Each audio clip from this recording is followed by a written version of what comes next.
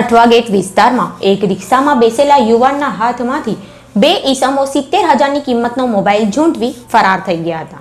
સુરતના રાદેલ કોચવે રોડ ખાતે રહેતા વસીમભાઈ મુનીરભાઈ પર્યાય જે નોકરી ધંધો કરી પોતાના પરિવારનું ગુજરાન ચલાવે છે.